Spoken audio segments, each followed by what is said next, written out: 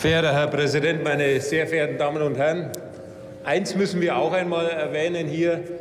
Die Kernenergie hat dazu beigetragen, dass über Jahrzehnte lang hier in unserem Land die wirtschaftliche Entwicklung vorangegangen ist. Aber wir haben mit den Reaktorkatastrophen vom 11. März 2011 in Fukushima, mit der Katastrophe vom 26. April 1986 in Tschernobyl festgestellt, dass diese Energieform eine hochgefährliche ist, dass diese Energieform nicht zukunftsfähig ist. Meine sehr verehrten Damen und Herren, ich persönlich als Landwirt kann mich noch ganz genau an die Zeit nach Tschernobyl erinnern. Im Frühjahr freut man sich darauf, dass die Pflanzen wachsen, dass man die Weidetierhaltung in Schwung bringen kann. Und plötzlich steht man vor der Herausforderung, die Pflanzen auf den Feldern dürfen nicht verfüttert werden. Wir müssen sie untersuchen, ob sie strahlenmäßig belastet sind. Meine sehr verehrten Damen und Herren, das zeigt uns, dass Strahlen keine Staatsgrenzen kennen. Und deshalb, deshalb haben wir uns im Deutschen Bundestag dazu entschlossen, die Energiewende zu gestalten.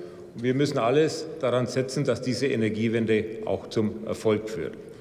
Und meine sehr verehrten Damen und Herren, wir sind jetzt in Deutschland in der Lage, 40 Prozent des Stromes aus erneuerbaren Energien zu liefern. Ich darf hier auch in aller Bescheidenheit anmerken, dass wir in Bayern bereits bei 45 Prozent sind. Und wir müssen hier diesen Weg konsequent weitergehen. Das geht aber nur mit der notwendigen Akzeptanz, mit der notwendigen Marktfähigkeit, mit der Grundlastfähigkeit und mit der Einbinden der gesamten Bevölkerung.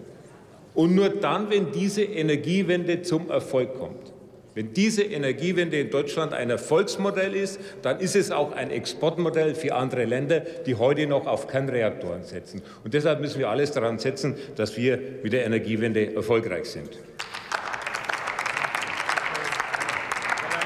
Meine sehr verehrten Damen und Herren, ich möchte auch, ich möchte auch, äh, wissen Sie, der, der, ich muss äh, doch mal hier äh, erwähnen, der Betrieb eines Kernreaktors ist das eine. Das Entsorgen dessen, was überbleibt, ist das andere. Und ich bin überzeugt, wenn in Tausenden von Jahren, weiß ich nicht, ob es noch einen Deutschen Bundestag gibt, hoffentlich auch die eine oder andere Partei nicht mehr. Aber ich weiß, dass der Atome noch strahlt. Und deshalb müssen wir heute daran arbeiten, Lösungen zu finden. Meine sehr verehrten Damen und Herren, wenn wir jetzt sagen, wir steigen aus allen Programmen aus und äh, wollen äh, mit Gewalt quasi unsere Nachbarländer dazu zwingen, aus der Kernenergie auszusteigen, das geht nur im Miteinander. Das geht nur dadurch, dass wir sagen, wir haben Erfolg mit unserer Energiewende und wir zeigen es den anderen Ländern.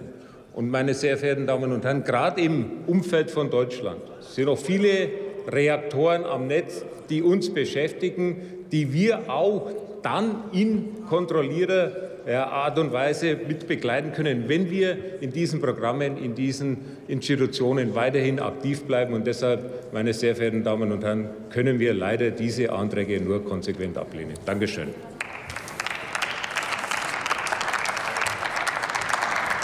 Vielen Dank. Als nächste hat das Wort